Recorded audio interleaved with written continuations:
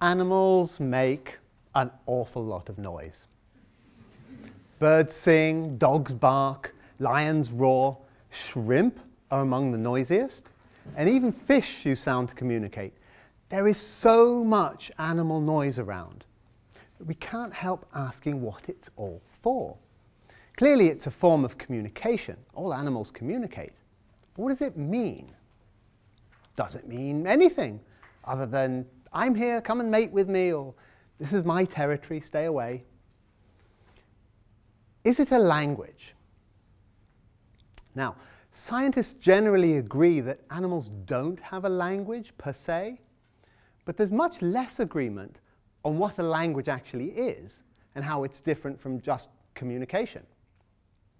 And when we ask, do animals have a language, we have to be very careful that we're not really asking, do animals have a language like human language, you know, with words and sentences?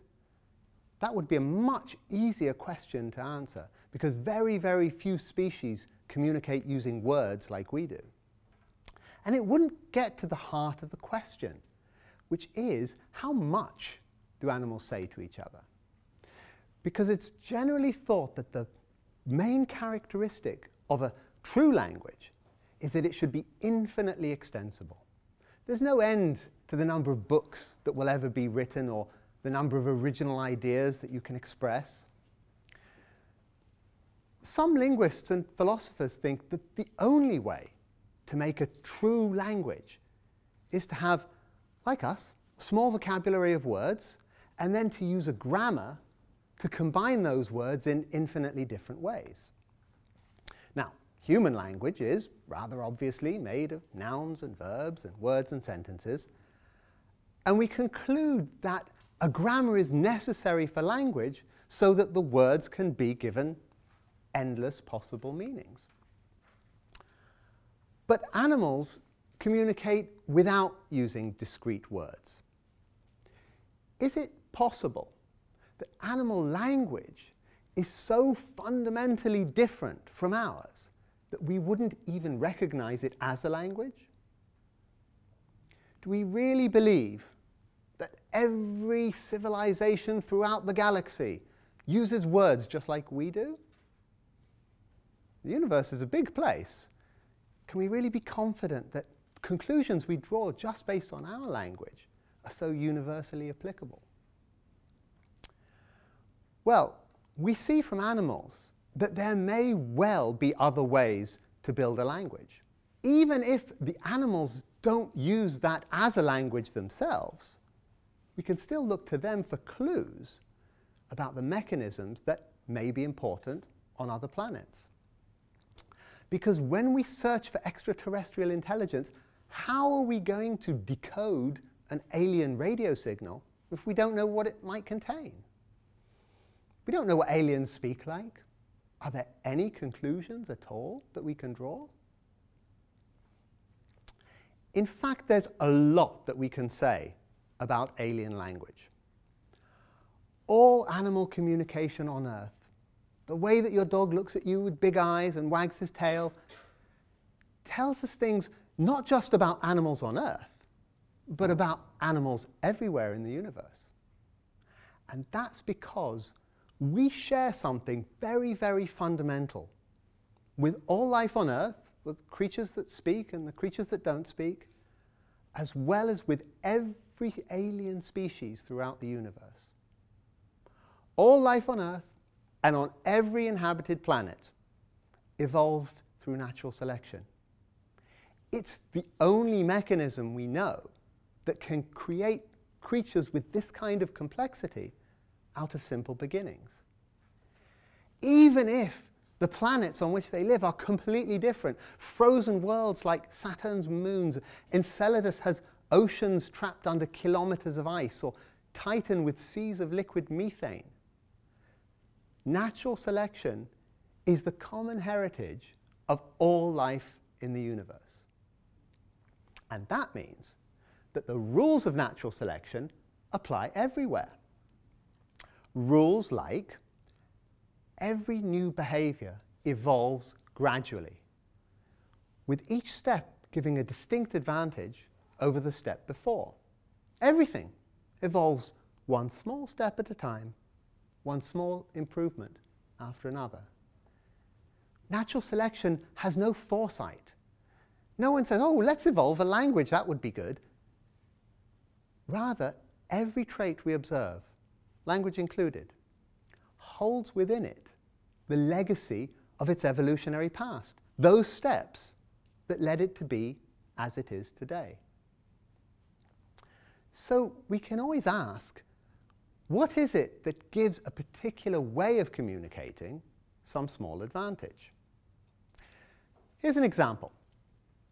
Why do some birds tweet and other birds warble?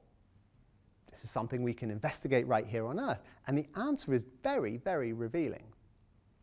But first, when we study animal vocalizations, we often use a visual representation of the sound. It's called a spectrogram.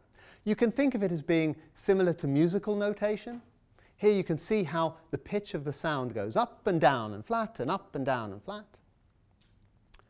And here are the songs of two birds, a junco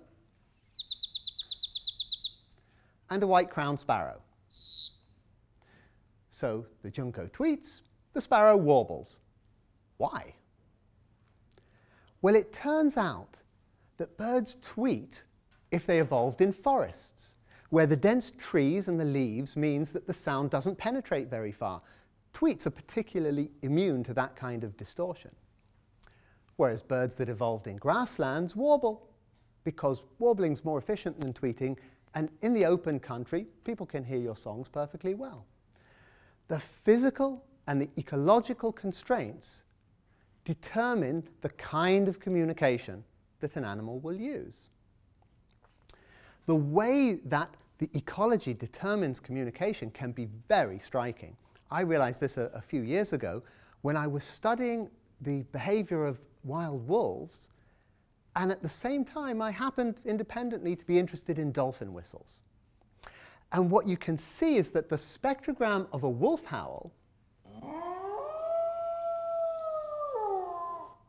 is remarkably similar to the spectrogram of a dolphin whistle. Now, of course, the whistle's a lot shorter. It's less than half a second instead of five seconds, and the pitch is much higher. But the basic shape is the same. And when I slowed down that dolphin whistle about 20 times,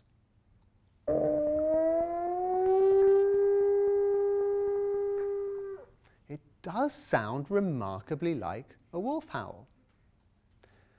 Now, there's nothing mystical about this connection between dolphins and wolves. It's actually quite expected because both species occupy very similar ecological niches. They're both highly intelligent, they're both cooperative hunters, and they both need to stay in contact with members of their group over distances where the sound becomes faint and distorted. And the best way to do that is to howl or to whistle. Imagine you and a friend standing on two hills across a wide valley. If you tried shouting to each other, you might hear the sound, but you wouldn't understand what each other was saying. That's because human speech is much more like warbling than tweeting. Now, if you really wanted to communicate, you might try yodeling.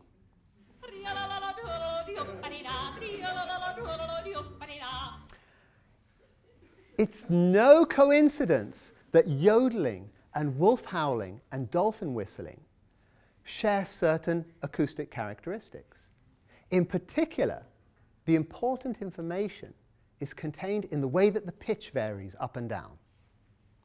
So the physical constraints of the problem that the animal is trying to overcome, communicating over long distances, dictates the kinds of solutions that will work well.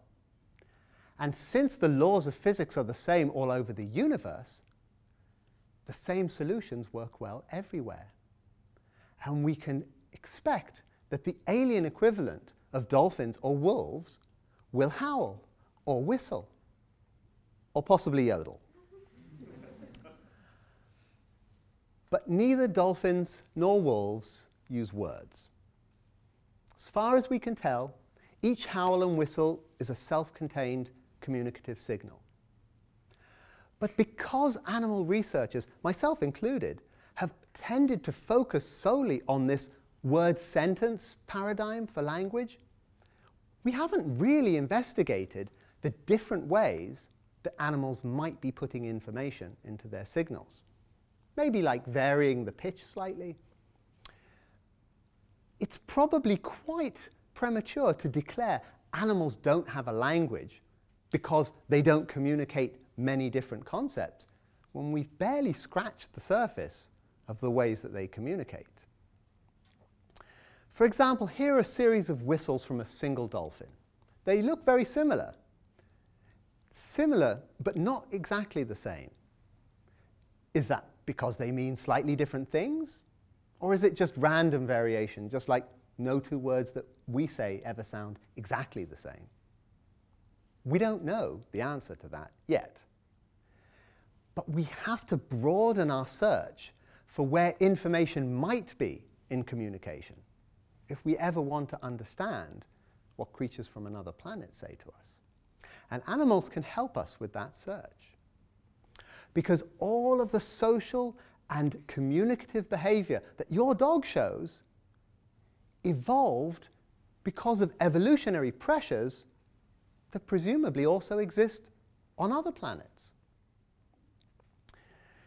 Now, thinking about the physical constraints on communication also tells us some interesting things about some kinds of communication that don't occur very often on Earth. All life that we know of works on electricity. Every cell in our body is powered by the flow of electrically charged ions in and out. And with all that electrical machinery inside of us, it's kind of surprising that we don't use electricity to communicate. But some animals do. Two groups of fishes, one in Africa and one in South America, send clear messages to members of their species by varying the electrical field around their bodies. It's the closest thing we know to telepathy. Now, electric field communication has a lot of advantages. You can put a lot of information into a signal very reliably. And it doesn't depend on a clear line of sight like a visual signal would. It's no surprise that these fishes live in very murky rivers where the visibility is very low. And unless your predators have evolved ways to detect this, they can't hear what you're saying. But electrical signals use an awful lot of energy. And the physical adaptations within the fish's body to produce and detect these signals are absolutely overwhelming. So it seems that when you consider the cost benefit trade off on Earth, electric communication just hasn't been that worthwhile. On other planets, it may be different. Maybe where there's no light at all, maybe where sound doesn't travel so well. But at least we have the opportunity to study these outlandish ways of communicating here on Earth, even if the planets where they're in common use probably will always be hidden to us. And here's the thing life on Earth has evolved a dizzying array of ways to communicate. Some of them have become very widespread and diverse, and others have remained very specific and very niche. Rabbits thump their feet to warn of danger, but they don't say very much else. Kangaroo rats, on the other hand, drum their feet to send out complex messages that tell about their individual identity and their social status.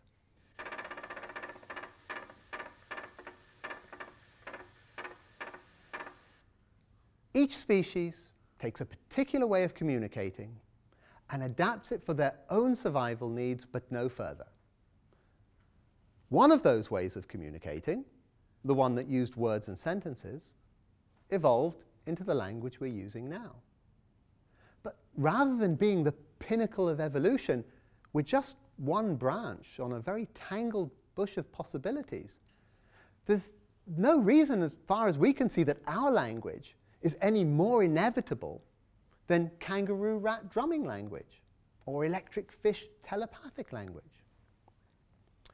So think about that when you go for a walk in the woods and you hear the birds singing.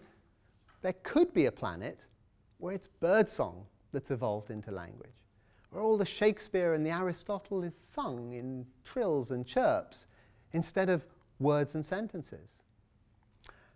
And pay close attention to your dog and what he says to you and why, because that can be telling you a lot more about alien communication than you think. Thank you.